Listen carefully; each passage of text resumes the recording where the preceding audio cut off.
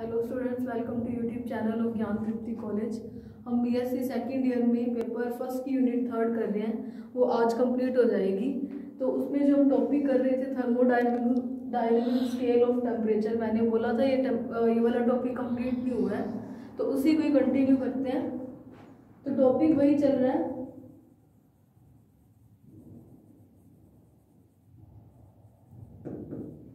Thermodynamic scale of temperature मतलब temperature को measure करने के लिए गति की जो पैमाना दिया गया था, वो पढ़ रहे हैं और इसकी परफेक्ट गैस स्केल यानी कि गैस जो नॉर्मल गैस स्केल है नॉर्मल स्केल है टेम्परेचर को मेज़र करने की वर्किंग सब्सटेंस को हम गैस की फॉर्म में ले रहे हैं तो गैस स्केल बोल दिया नॉर्मल जो भी टेम्परेचर गैस को मेज़र करने के लिए है, उन थर्मोमीटर की और इस वाले थर्मोमीटर की रिजेंबलेंस देखेंगे कि दोनों थर्मोमीटर से जो टेम्परेचर आ रहा है, वो परफेक्ट गैस के लिए अगर कोई एकदम स्केल परफेक्ट है तो उसका रिजेंबल इसके साथ आइडेंटिटी कैसे होगी, वो चीज़ देखेंगे, ठीक है? तो सबसे पहले थर्मोडाइनमिक डायनेमिक स्केल में हमने कल क्या देखा था, वो देख लेते हैं। हमने क्या किया था? कल वाले टॉपिक में, आज इसी से, आज इसका यूज़ होगा, इसीलिए कल वाला थोड़ा सा बता रही हूँ कि ये ले लिया था मैंने। थीटा वन टेम्परेचर के सोर्स लिया था। यहाँ पे कोई सोर्स था heat engine E one source नहीं हीट इंजन था। फिर मैंने इसको थीटा टू कहा था, फिर दूसरा इंजन था ई टू और ई उसके इक्विवेलेंट में मैंने इसी के, दोनों के तुल्य एक और इंजन बना दिया था, एक और हीट सोर्स ये दोनों सोर्स कैसे थे? ई वन ई टू ये थे रिवर्सिबल हीट इंजन और उसी के जैसा ही इन दोनों के तुल्य मतलब दोनों को जोड़कर या दोनों के इक्विवेलेंट में मैंने एक और बना दिया, जैसे इक्विवेलेंट सर्किट बनते हैं वैसे। तो उसको मैंने ई e ले लिया। तो यहाँ पे वो क्या कर रहा था? Q1 हीट ले रहा था W1 वर्क कर रहा था Q2 हीट बची हुई उसको दे रहा था। ये सिंक का काम कर रहा है। लेकिन हीट इंजन E2 के लिए जिसका टेम्परेचर थीटा टू क्या है? इस तरीके का है। यूँ। और हमें पता है कि सोर्स का टेम्परेचर हमेशा सिंक से ज़्यादा है। तो यहाँ पर थीटा टू थीटा थ्री से ज़्यादा है। तो मतलब ये वाला इस ई e टू के लिए सोर्स का काम करेगा। मैंने यहाँ पर टेम्परेचर शो करा, यहाँ पे सोर्स और सिंक इसीलिए नहीं लिखा कि यहाँ पर थीटा टू से ही आपको पता चल जाएगा कि वो इसके लिए तो सिंक का काम कर रहा है, लेकिन इस ई e टू के लिए सोर्स का काम कर रहा है। तो क्यू टू हीट इसको दी थी, वही क्यू टू हीट इसने ली। डब्ल्यू टू वर्क करा, और जो रिमेनिंग हीट थी क्यू थ्री वो सिंक को दे दिया। तो इसके जो इक्विवेलेंट में मैंने सर्किट बनाया था सर्किट तो क्या हीट इंजन जो शो करा था, वो मान लिया Q1 हीट ले रहा है Q1 ले रहा है और एंड में Q3 दे रहा था तो Q3 दे दी और मान लिया कि W उसने वर्क करा जो कि इसके इक्विवेलेंट में है। ठीक है? तो वो मैंने W वर्क कर दिया। ये चीज़ आपको कल भी मैंने बताई थी, वो आपको समझ आ गई होगी कि मैंने किस तरीके से इसको इक्विवेलेंट में लिया। तो नीटा क्या है हमारे पास? हमें पता है कि one minus Q two over में क्यू वन होता है। और एक और चीज़ हमें पता है कि नीटा क्या होती है? One minus T two over में टी वन। टी टू की जगह हमने टेम्परेचर क्या लिया? थीटा टू और थीटा वन। अब थर्मोडाइनमिक स्केल की ज़रूरत क्यों थी? क्योंकि जो बाकी के स्केल्स थे, उनसे अगर किसी वर्किंग सब्सटेंस की टेम्परेचर नोट कर रहे थे तो वो हर एक थर्मोमीटर से, यानी कि हर एक स्केल से अलग अलग वैल्यूज़ आ रही थी। तो इस वाली प्रॉब्लम को दूर करने के लिए कैलविन ने अपना एक अलग स्केल दिया था, जो कि उस वर्किंग सब्सटेंस की या वो जो मैटर था, उसकी नेचर पर डिपेंड नहीं कर रहा था। तो यहाँ से हमें क्या पता चला था कि नीटा किसका फ़ंक्शन है? थीटा वन और थीटा टू का। तो इसका मतलब क्या था? हमने क्या किया था कल? One minus Q two over में क्यू वन किसका फ़ंक्शन होगा? वो भी अगर नीटा है तो वो भी थीटा टू और थीटा वन का फ़ंक्शन हो सकता है। तो यहाँ से हमने निकाला था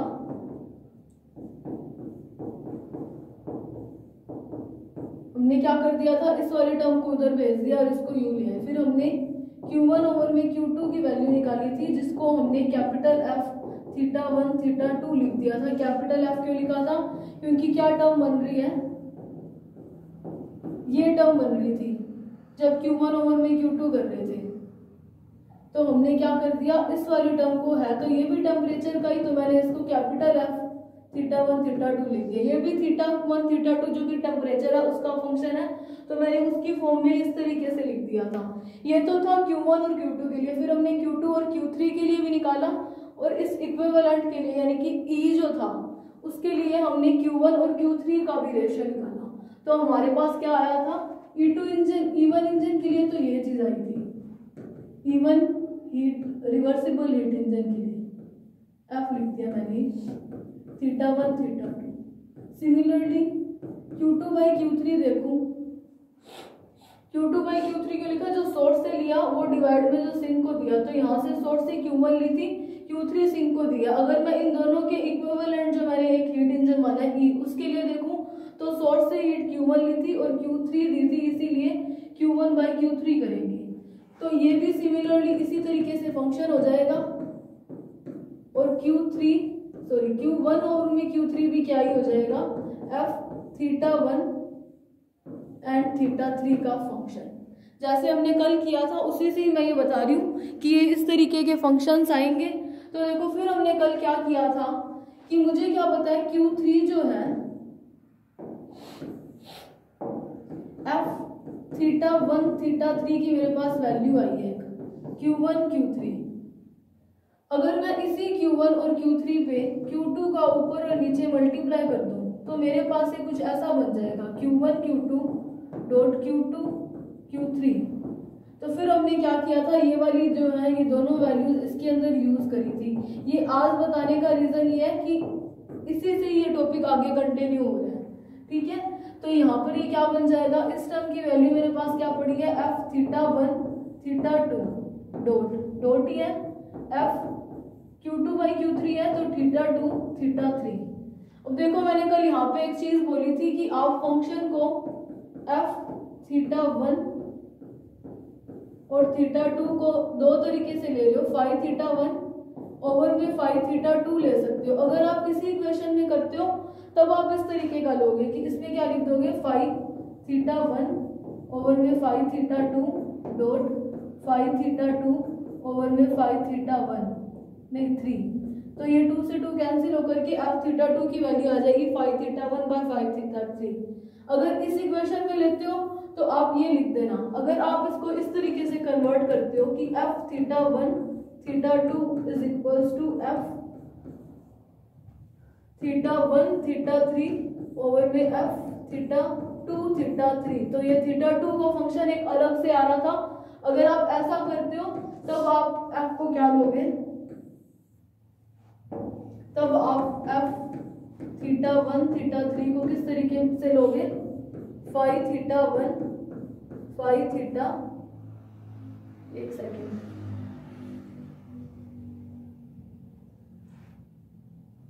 थ्री से. और F theta two theta three को क्या लोगे? Five theta two five of theta three तो जब आप इनका डिवाइड लगाओगे, इस वाली इक्वेशन में जैसे डिवाइड था तो थीटा थ्री से थीटा थ्री कटने कट करके मेरे पास क्या आ गया था? F theta one, theta two की वैल्यू आई थी, जो कि क्या आ रही है? फाइव थीटा वन ओवर में फाइव थीटा टू। तो देखो एंड में हमारे पास जो फ़ंक्शन का वैल्यू थी, वो यही आ गई थी। इसको आप और में लिख दो। ठीक है? यहाँ से अगर आप इस तरीके का कर रहे हो, यहाँ से इस वाली इक्वेशन को ऐसा भी लिख सकते हो, तब आप फ़ंक्शन को ये मानोगे। लेकिन अगर आप इस इक्वेशन में सॉल्व कर रहे हो तो अब आप, तब आप ये वाली वैल्यू ले लेना फ़ंक्शन की। दोनों में से किसी से भी सॉल्व करो, कोई प्रॉब्लम नहीं आएगी। तो देखो, यहाँ से मेरे पास एक वैल्यू निकल आएगी। अगर आप इस तरीके से सॉल्व कर रहे हो तो फिर आपको आगे क्या सॉल्व करना पड़ेगा?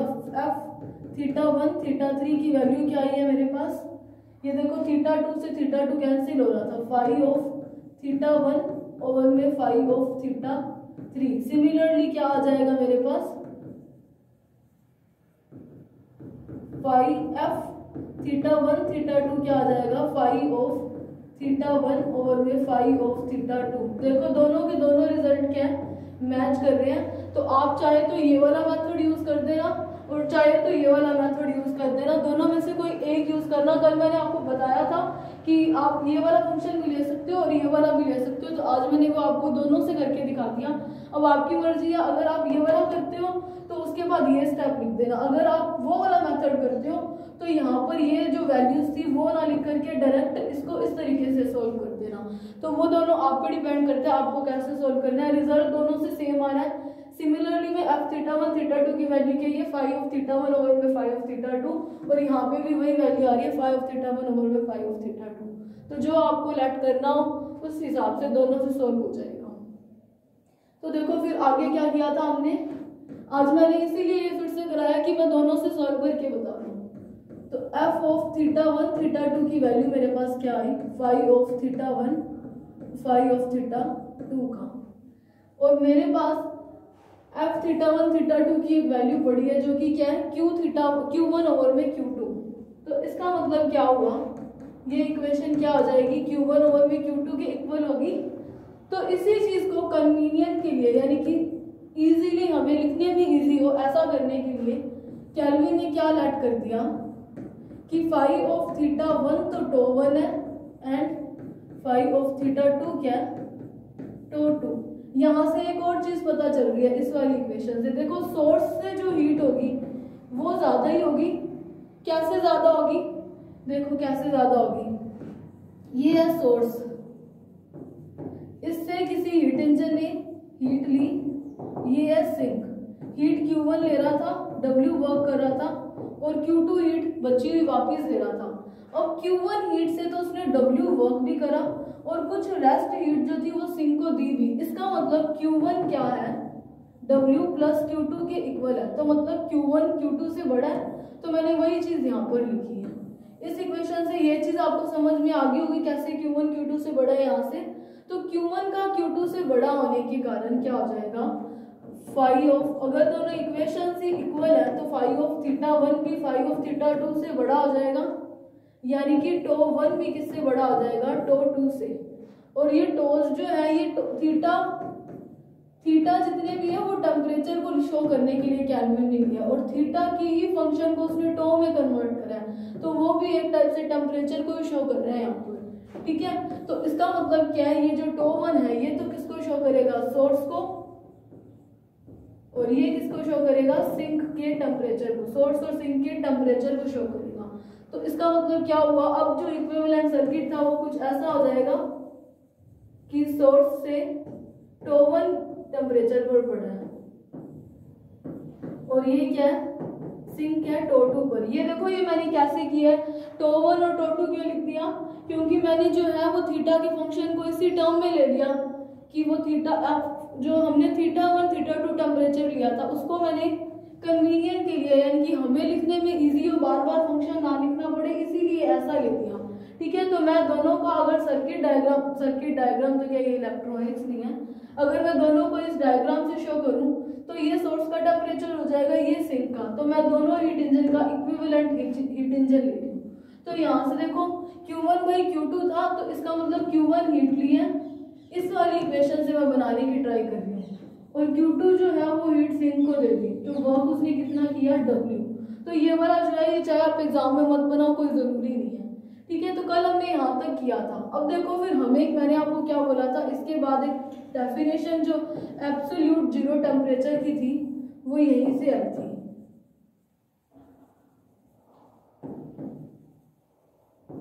अब एब्सोल्यूट ज़ीरो टेम्परेचर क्या है? इसको हिंदी में बोलते हैं परम शून्य ताप ये आपको पता ही होगा होता कितना है ज़ीरो कैलविन ओके नहीं लिखा, ये ज़ीरो कैलविन लिखा है। तो वो क्या है? परम शून्य ताप आपको पता ही होगा कि कैलविन को डिग्री सेल्सियस को कैलविन में बदलना है तो जो डिग्री का सेल्सियस है, उसमें दो सौ तिहत्तर जोड़ दे तो वो कैलविन की टर्म आती है। ठीक है? तो इसका मतलब क्या है कि मेरे पास ज़ीरो कैलविन होने के लिए डिग्री सेल्सियस कितना होना चाहिए? टेम्परेचर कितना डिग्री में होना चाहिए? तो देखो कितना डिग्री में होना चाहिए? दो सौ तिहत्तर।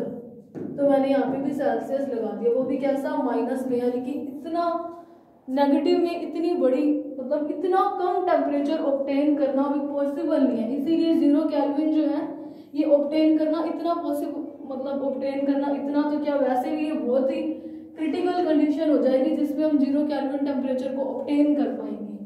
ठीक है? तो पहले आपको ज़ीरो कैलविन की या फिर परम शून्य ताप की डेफिनेशन पता होना चाहिए कि वो होती क्या। है तो देखो, वो क्या होती है?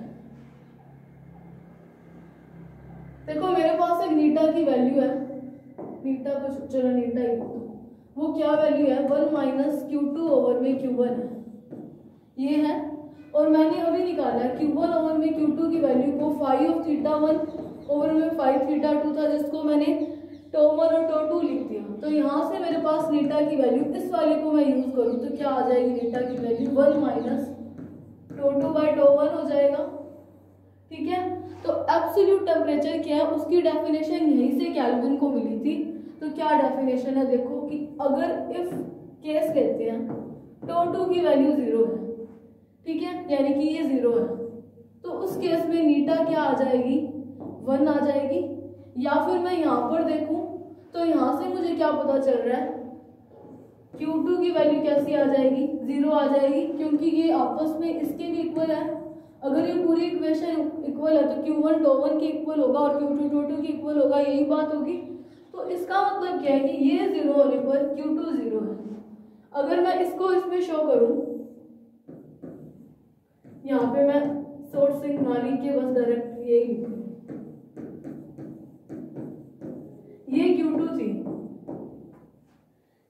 Q2 के ज़ीरो होने का मतलब क्या हुआ? कि Q1 जो है, वो पूरी की पूरी W में कन्वर्ट हो गई वर्क में कन्वर्ट हो चुकी है। या फिर इसका और भी एक मतलब आ सकता है कि एफिशिएंसी वन है। तो इसका मतलब क्या हुआ? एक ऐसा टेम्परेचर जिस पर एफिशिएंसी जो है, वो यूनिट हो जाए।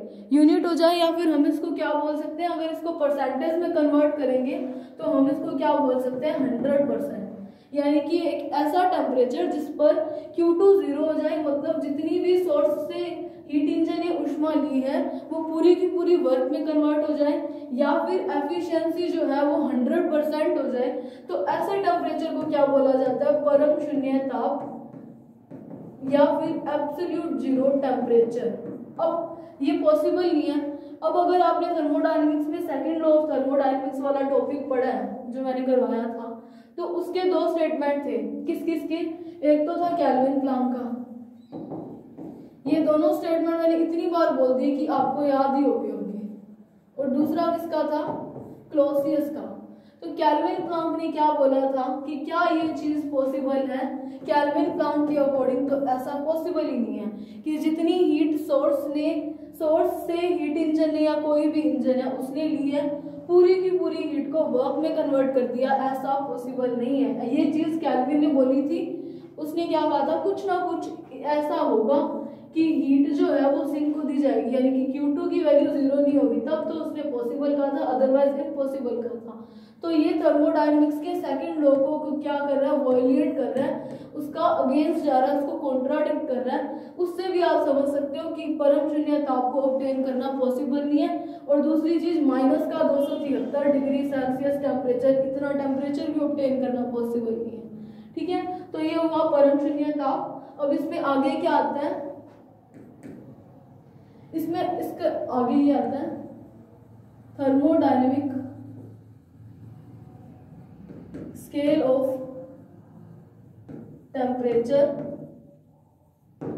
and its identity. With perfect gas scale यानी कि जो थर्मोडायनेमिक टेम्परेचर लिया है हमने स्केल लिया है, उसकी किसी गैस स्केल के साथ आइडेंटिटी का मतलब होता है तुलना, तुल्यता। यानी कि देखना है कि वो आइडेंटिटिकल होते हैं। आपने मैथ्स में प्रूफ करा होगा कि आइडेंटिटिकल होने के लिए आइडेंटिटी होने के लिए क्या दोनों सेम हो। यानी कि देखना ये होगा कि क्या थीटा वन थीटा टू या टो वन टो टू जो थर्मोडाइनमिकल स्केल में लिया है, वो गैस स्केल के लिए मैं टेम्परेचर ले लूँगी टी वन और टी टू हम इसी में ले रहे थे तो इसी को ले लेंगे। तो देखिए क्या, वो टी वन टी टू का कुछ रिलेशन आ रहा है। इसके साथ क्यू वन और क्यू टू के साथ। तो देखते हैं वो कैसा होगा। तो मैं क्या मान लेती हूँ कि कोई परफेक्ट गैस स्केल में जो वर्किंग सब्सटेंस है, उसका टेम्परेचर मैंने टी वन और टी टू की फॉर्म में लिया तो मेरे पास एफिशिएंसी क्या आ जाएगी? One minus T two over में टी यही एफिशिएंसी आ जाएगी।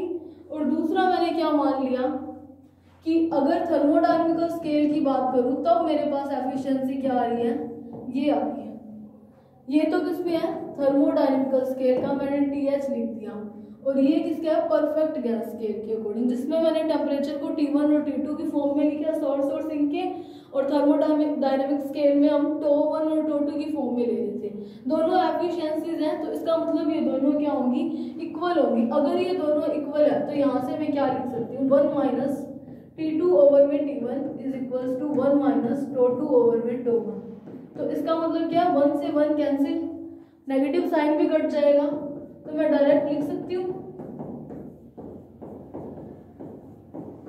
ये चीज़ अब देखो, एक चीज़ जो थी Q1 ओवर में Q2 is equals to T1 over में T2 जो लिया था, वो यहाँ से भी प्रूफ हो रहा है कि ये दोनों इक्वल आए हैं तो ये दोनों भी इक्वल हैं।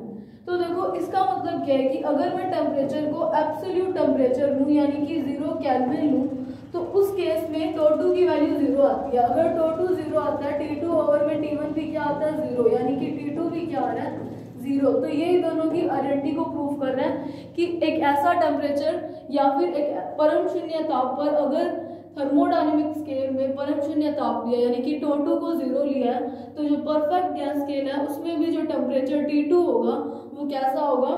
ज़ीरो होगा। अब दूसरी इसमें एक और चीज़ कर सकते हैं, वो क्या? देखो, इसके लिए आपको एक एग्जांपल से समझना पड़ेगा।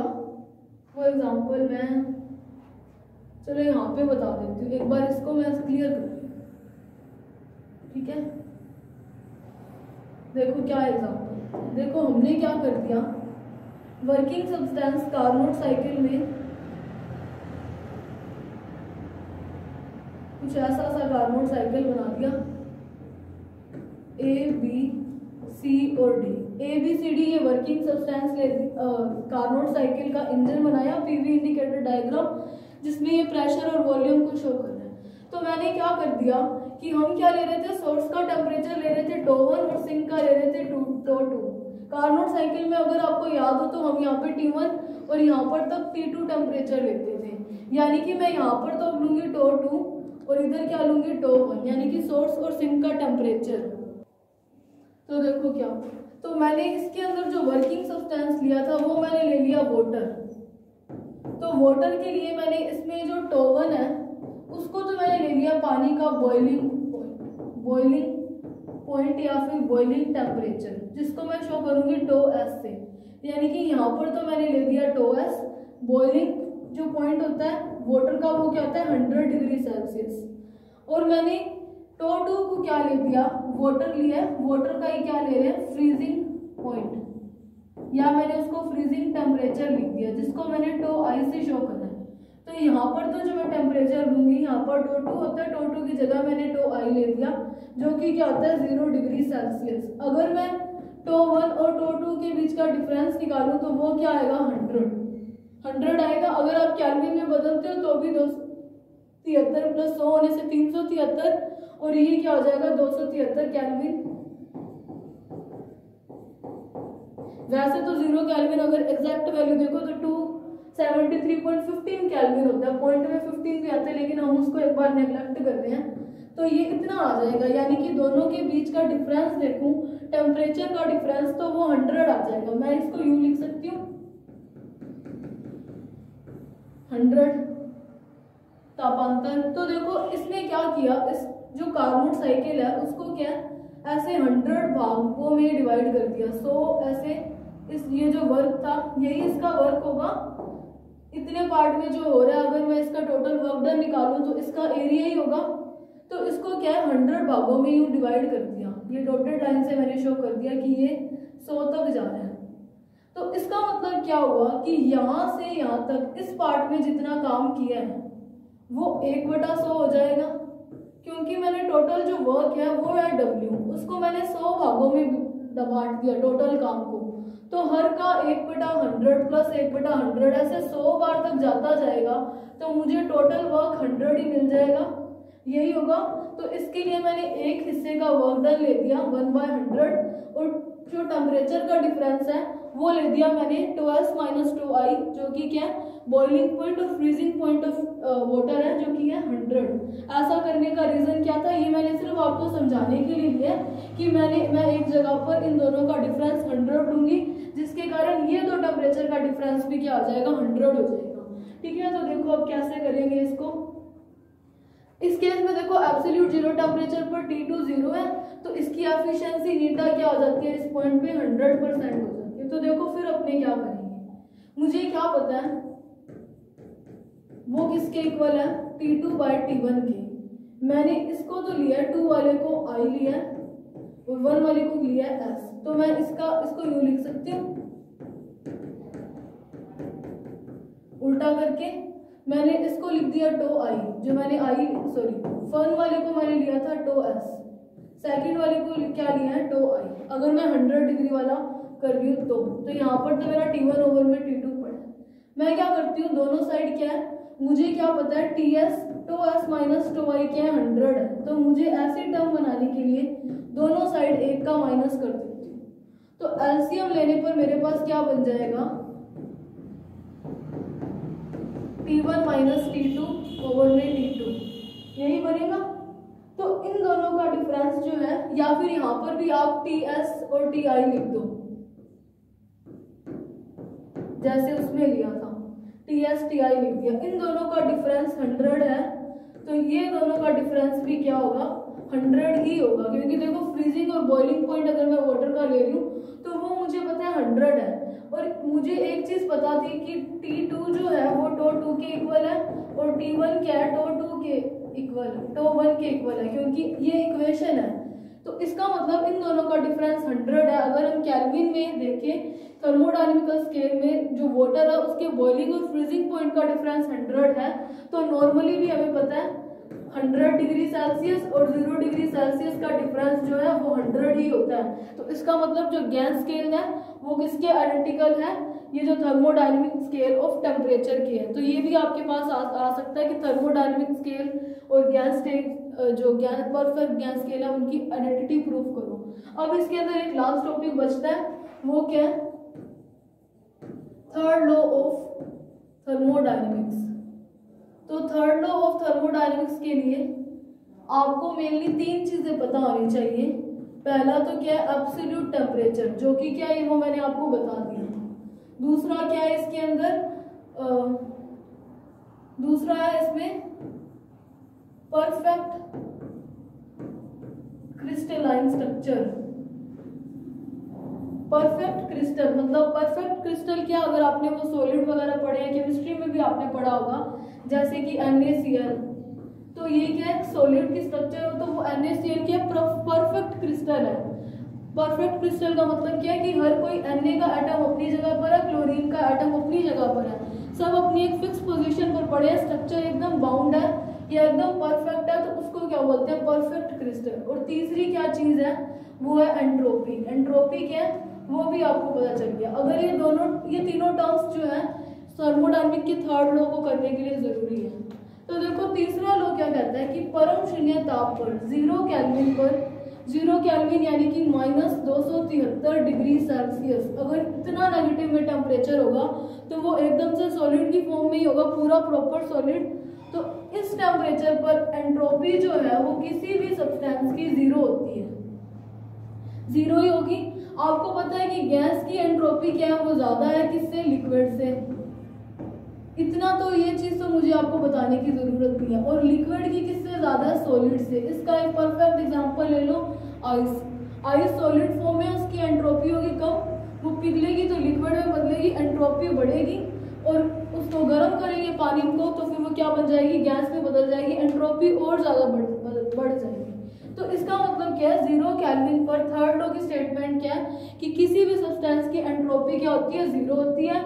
लेकिन हमें पता है कि ऐसी चीज़ पॉसिबल नहीं है। एक तो ज़ीरो होने का रीजन क्या है?